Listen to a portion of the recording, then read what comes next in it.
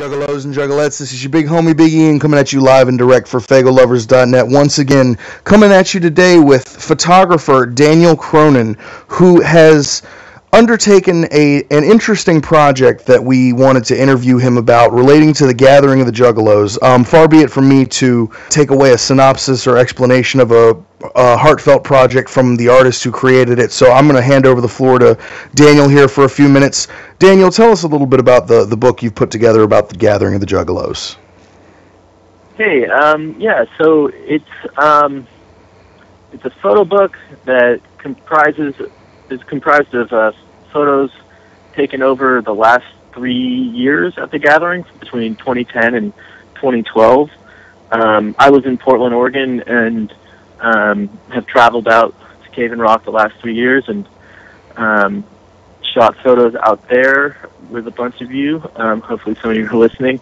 Um, but yeah, it's basically I kind of so I, I I went to college in Northern California at Sonoma State University, got into photography there, studied photography. Um, I moved to Portland and was kind of really stuck with photography, not really going anywhere. And I was looking for a new kind of project or something to focus on.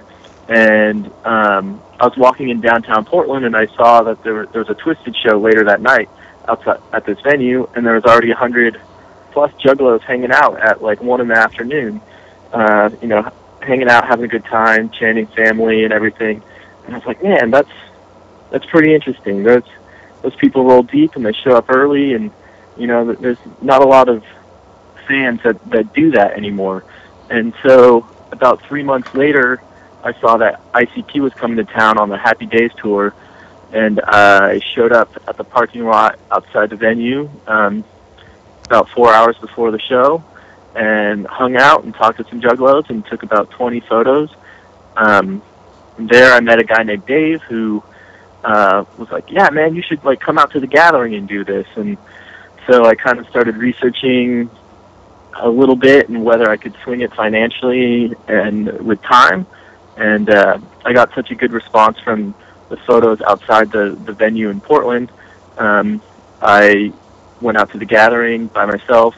Didn't really know what to expect in 2010, um, and kind of just, in some ways, was definitely overwhelmed by everything. As I think even a lot of first timers are. You know, it's just like, wow, like everything's so loud and bright, and uh, you know, when I showed up, I wasn't really sure how I was going to shoot the project.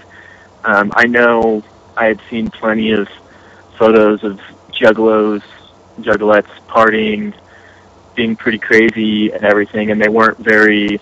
They felt very snapshotty to me, and you know, you'd see them on blogs and things like that, kind of mocking the gathering and juggalo culture. And so, I kind of try decided to try and take a, a different approach to it, and really kind of approach people and sit down and talk with them, tell them how I where I'm coming from, my background, and I, I definitely kind of grew up in more of a punk, the Bay Area punk rock scene, um, and things like that. And I, I definitely see a lot of similarities between juggalos and punks in the sense that they're very tight knit, they're somewhat outcasted by the rest of society. They're very, it's kind of based around music, um, fairly anti-authoritarian.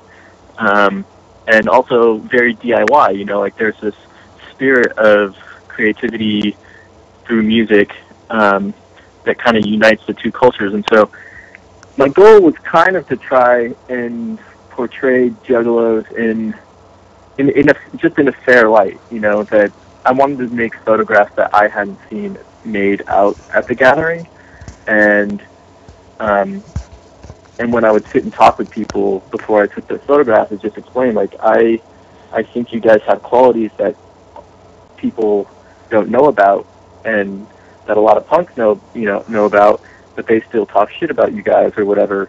And so, um, in a way, I, I'm, I guess, ultimately trying to show that you know the gathering, while there is you know some wild and crazy and fun times that happen out there, there's a lot of these like quieter hangout moments that happen about like more about community and you know friendship and not to get all you know sentimental here, but um, those are worth focusing on and um, yeah.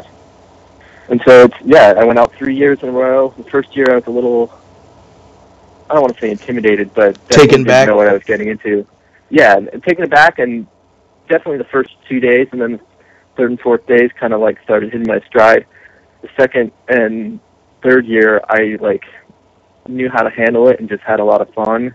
And it was really good seeing people I had shot the previous years, like coming back up to me and saying hey and recognizing me and things like that. And uh, I, I, yeah, it's, it's it's funny. Like at this point, I, I tell people like I, I actually really enjoy going out there. Like the, like people, you know, I think a lot of people's gripes with ICP instantly is is the music. They don't like the music, and I'm like, well, you can say what you will want about the music, but like there's they also curate this entirely amazing set of other acts, like more, you know, like it's like I fucking saw Ice Cube. You know, that was like my, you know, one of my, and Naughty by Nature, like my childhood hip hop dreams that I I never thought I would actually get to see. Um, and so it's I don't I don't know. It's uh I tell people if I was a juggalo I would go to this every year and I don't necessarily refer to myself as a juggalo at this point, but I definitely it's on my list of things to do every summer at this point. So the obvious question being, will you be there this year? Uh, I am. I, I I want to. I'm gonna try and make it work. I, my cousin, who's like my, uh, one of my other, he's like a brother to me, is getting married, and I'm a groomsman in his wedding in Seattle, and his wedding's on the 10th. So what I'm gonna try and do is come out a few days early, hang out for the first day or two, and then fly straight to fly straight to Seattle for the wedding. Um, so I'm I'm. It's definitely something I still want to do it just sucks that this wedding's the exact same week or weekend, you know. Now let's focus back on the book a little bit more. So now, okay, you, you're a photographer, and from what we've seen, this book is primarily comprised of a collection of you know high quality, touching, good photographs that have taken place at the gathering over the last few years. Is that all it is? Is is just photos, or is there actually like a story or or you know text content in this book as well? Yeah, so um, there is some text. Uh, it's when Camille Dodero um, wrote the intro to it, and I met Camille um, in 2010.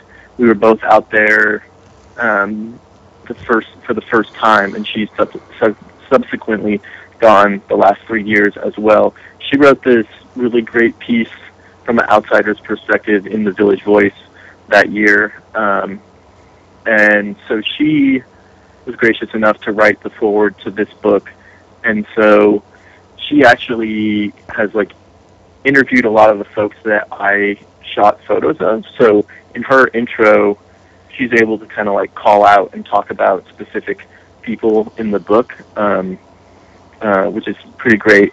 Other than that, there there isn't like a, a thread or a storyline through the, the, the photographs so much. Um, but yeah, there's the the foreword. I do a short intro about kind of how I got into um, exploring uh, the gathering, and then there's the photos, and then a thank you or acknowledgement at the end, where I definitely, in the acknowledgments, um, the first people I acknowledge is I, I, I just want to say this is like thank you to the juggalos and juggalettes who, you know, it's like without them letting me take their photo or being so gracious to me, um, this whole book wouldn't exist at all. So um, thank you to those who let me take your photo. And I, I call you out in the book, and I uh, just want to say thank you. How would you describe this book? Does it kind of fall into like a coffee table book category? Okay, yeah. I mean, it's it's weird because this is my first book, and it's it's people always think of you know coffee table books as these kind of fine art items that you they sit there and you flip through them and they're big and they're heavy. This, I mean, it's a it's a hardbound book. It's printed nicely.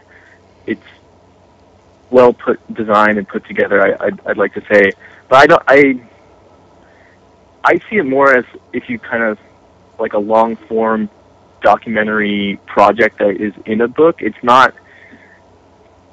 I, I think there's some kind of hang up, or at least I have a hang up with the term coffee table book because it, it it makes it sound a little more detached. I, I'd really like.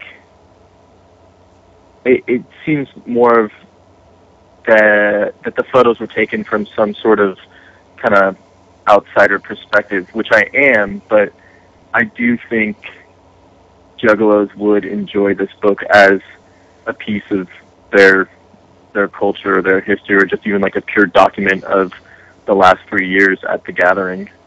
Um, so, yeah, I, I don't I don't know if that explains it um, well enough.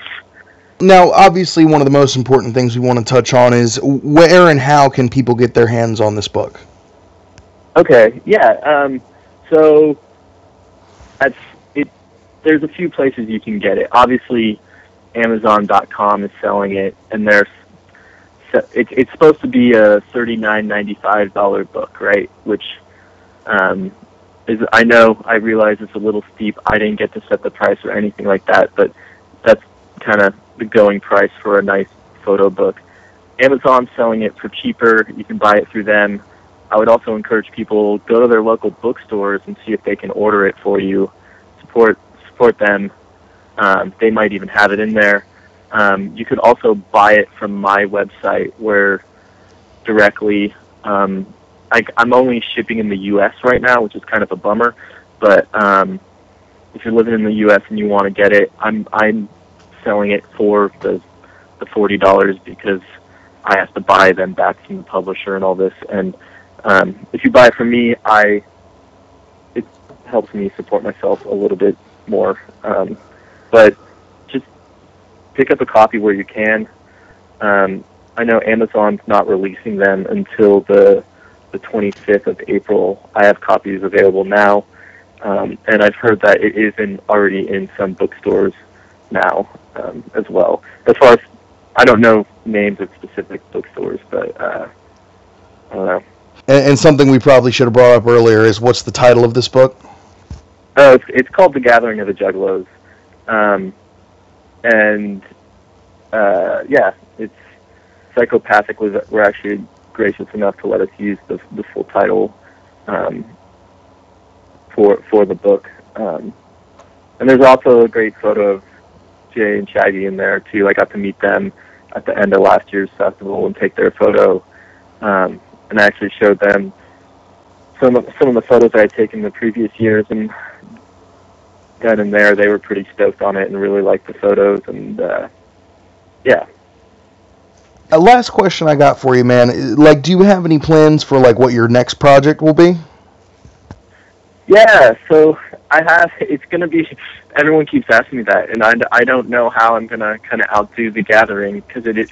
I think it is such a unique and interesting thing to to shoot. But um, there is a fundamentalist Christian theme park in Florida called the Holy Land Experience that um, just seems pretty interesting, and so I'm debating about either somehow saving some money to fly out to Florida to maybe try and shoot that, or this idea popped into my head the other night is just uh, a, a photo series about people about uh, pizza delivery folks. I've never seen an in-depth photo series about people who deliver pizza, and I think they're like.